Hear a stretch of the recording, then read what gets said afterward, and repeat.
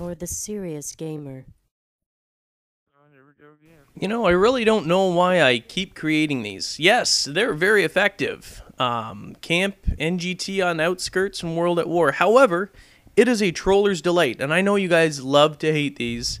Uh, but again, I'll say it as I said before in mon- many other instances. Most of these techniques or whatever, it's not necessarily that I'm trying to show you, you know, a place that you can hunker down the entire game because that's kind of boring um, and not, you know, not really effective. It it, it can be effective uh, as you're going to see in here. I mean, I think my team, I think my team loses this, but you'll see that. I actually have the highest number of kills and highest, I believe, highest kill death ratio uh, for my team. Everyone else sucks because they don't know what they're doing. They're yes, they're you know running and gunning, uh, but they're running and dying because they don't know what they're doing. So if you don't know what you're doing, don't go out there and just do stupid things. Uh, you know, watch some high kill death ratio videos. That's a little self plug. Yeah. But anyway, camping is effective in certain instances. Okay, um, search and destroy predominantly when you're camping a bomb, when you're camping uh, uh, the bomb target or whatever, knowing how to camp effectively will get you more wins, will get you more kills. For those of you that are horrible at camping, don't know how to position themselves, don't know how to set up traps for the enemy, that's when you're going to actually suffer and uh, end up getting killed a lot and losing games. So take it as a, as a skill and learn learn to to camp effectively if you love search and destroy. If you don't, then you know what? Maybe you don't want to play deathmatch or camper or whatever. Learn to camp in deathmatch because if you're just going to run and gun, it's probably a little bit more fun than sitting in some corner. However, for a challenge, you could always set up, say, okay, we're going to take this particular area of the map and we're going to see how long we can hold it down before the enemy uh, can actually use their brain and figure out how to flush us out. Because sometimes I do that. I'm like, you know what? I can hold this place down, maybe get 10, 15 kills and see what if, see if I can break that record. Because sooner or later, they're going to just start pounding that place. They're going to be throwing every frag, every stun. They're going to be blasting it. And it's actually kind of funny because you know they're getting so angry. And you know what? If you're bored, sometimes that's actually fun. And you will get a crap load of kills. If you think you're not going to get action camping, believe me, you will. The action will come to you. And it's usually out of rage. Don't do it all the time, though, because you know what? It's not a lot of fun when you make people rage in the game. I'm not saying to cause chaos and stuff like that, but you know, for the most part, once in a while, who cares? There's enough people that ruin the game. This isn't ruining the game. It's just a different way of playing it. So for those of you that are going to troll and say, well, you're ruining the game and you're causing rage and blah, blah, blah. No, it's just a completely different way to play the game. It's an effective strategy. It's only you knuckleheads out there that don't know how to check corners properly that end up getting killed. You run around. I mean, if, if you're in a warlike situation, right? Which is what this simulates. This isn't real life. I get that. Thanks for the instructions. But if you're in a warlike situation, you don't just go running out in the middle of nowhere thinking you're friggin' John Rambo. For those of you that don't know, uh, John Rambo is the name of Rambo, who's, you know, Sylvester Stallone, if you've ever seen any of those movies. If you haven't, eh, you should watch them. They're classics. Classic crazy war movies. Uh, cheesy, but classics. Anyway, so this is a smart way to do it. I mean, this is what you're going to do. If you have a lot of resistance, if they're coming to you, why?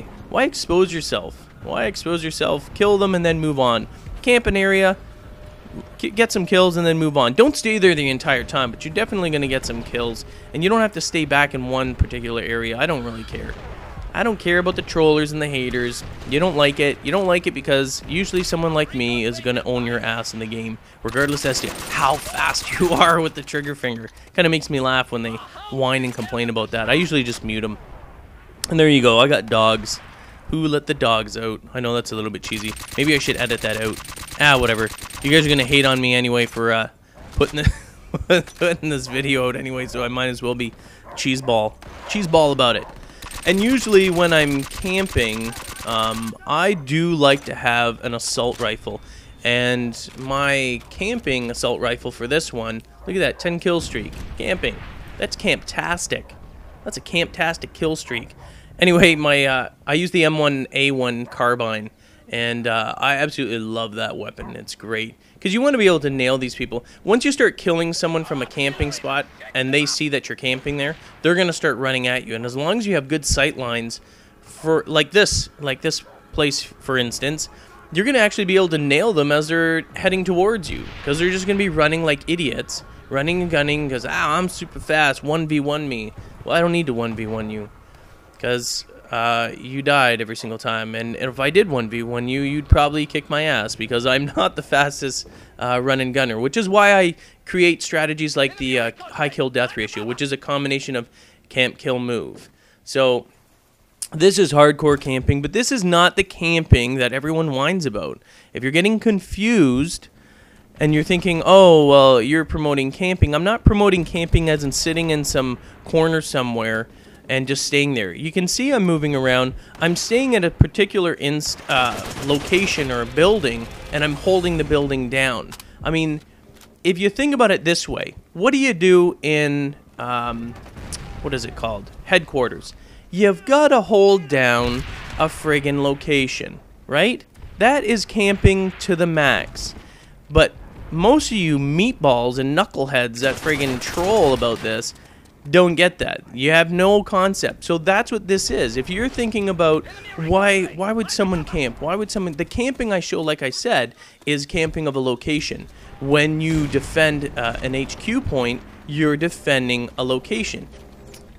Anyway, regardless, I will continue to show camping spots. I will always do it. Um, I don't care about the trolls. I'll, you know, I'll also show run and gunning, and we also have, you know, the agency, which is almost pure run and gunning, uh, you know, cowboy style.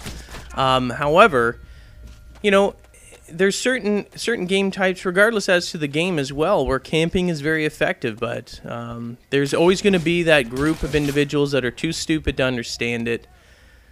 And I can't, you know what? I can't, I can't make excuses not to actually show it just because a few knuckleheads are, you know, dumbasses and just don't get it. They just, they can't get it. I can't make people smart.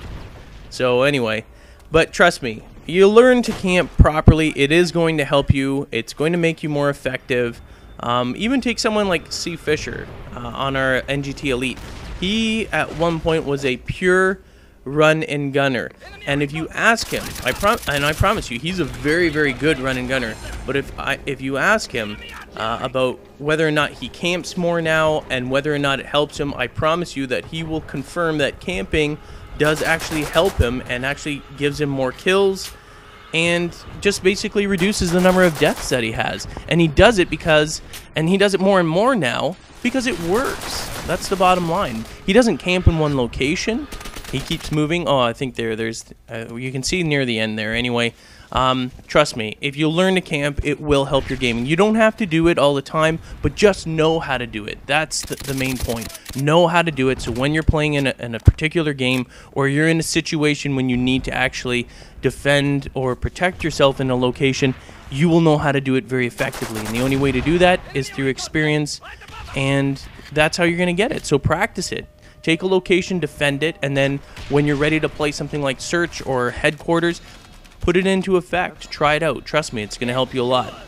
I'm Guns for Hire from Next Gen Tactics. Thanks for watching. And you'll notice that my team lost it for me, not me. They were running gunning.